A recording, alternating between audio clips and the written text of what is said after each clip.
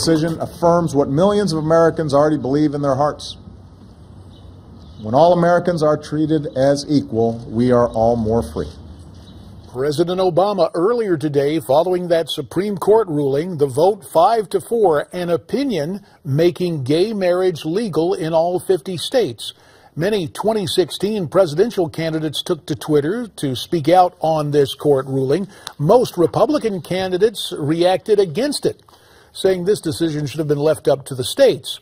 So, how will this ruling affect the 2016 presidential race? For more, let's turn to our political panel.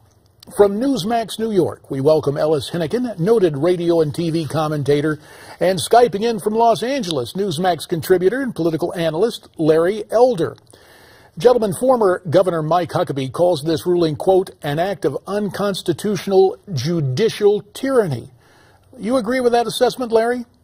I do. I think that uh, what they've done is the same thing that they did with the case of Roe v. Wade, and that is impose something on all 50 states that some states don't like. I don't believe that there's a 14th Amendment, an equal protection argument that same-sex marriages uh, are compelled uh, on all 50 states. And this argument was being won by the proponents of same-sex marriage on the ground. Uh, what, 34, 36, 37 states or so allow same-sex marriage, and the ones that don't, many of those allowed civil union. So they were already winning this battle, and now it's been shoved down the throats of all 50 states. I think it's wrong. Ellis, uh, a lot of people are celebrating today. Not all of them Republican candidates, but in a in a weird way, now the question has been settled, does this become a smaller issue, if you will, in the 2016 campaign?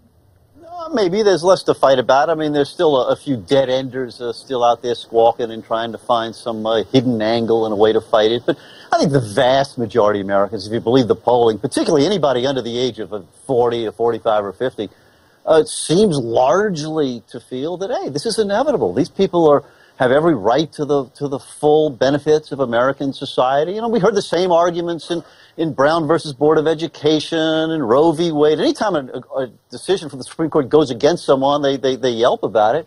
But uh, I think Americans are pretty much willing to accept this, at least in most corners of our country. Well, there's a legal and a moral question here. There's also the political question that we're concentrating on right now. So let me turn to Larry Elder. What does this mean for the Republican candidates? Will we see continued discussion of this issue, or does it fall by the wayside? I think it's going to be an issue during the uh, the primary season, the caucus season, especially for people like Santorum and, and Mike Huckabee, uh, who are staunch social conservatives. I think it's going to give them an argument, especially in primary states like South Carolina. But in the general election, I agree with Ellis. Most Americans support same-sex marriage. I voted for it twice in California. My fellow Californians voted against me. I was okay with that because I felt it should be done at the state level. But this is an issue that is moving rapidly in the favor of progressives. And I think a Republican candidate who comes out strongly against same-sex marriage and the general might very well be in trouble. Uh, there is uh, another factor in this equation, and that is the um, the different rulings within one day from Chief Justice John Roberts. Of right. course, he was an appointee of President George W. Bush. Right. He disappointed conservatives yesterday with the Obamacare ruling. I was uh, visiting with Donald Trump, and he made it clear that Jeb Bush was a big supporter of John Roberts. Does this create, in fact, there's a tweet we can show you from uh, Donald Trump that he sent out today and it's what he told me when I sat down with him. Uh, is Trump going to be able to make hay against uh, Jeb Bush, courtesy of John Roberts Ellis? No, I mean, he'll certainly try. I mean, the notion of uh, Donald Trump as a serious legal analyst t- takes a little getting used to, I, I guess. but, uh, yeah, I mean, well, why not? I mean, he's got, a, got an opinion about everything, and I'm sure he will say it loudly. Well, but, but again, to the point, Larry, the, the, the political angle on this, uh, people can caricature Donald if they want to, but it's it could be effective on the campaign trail, could it not? Well, it's an interesting argument to make because I tweeted that um, uh, the appointment of John Roberts was the biggest mistake that George W. Bush ever made. Not the Iraq War, but the appointment of John Roberts. Uh, and I got quite a reaction. But I don't know how you hold Jeb Bush responsible for his brother's appointee, A and B. Who knew John Roberts gonna, was going to do this? People feel betrayed. Once they get up there, they can do any darn thing they want. You have no control over them. All you can do is hope that they're going to be conservatives. Uh, and it turns out that John Roberts, at least on the issue yesterday on Obamacare, twice now has saved it in, in ways, in my opinion, that are nothing more than activism.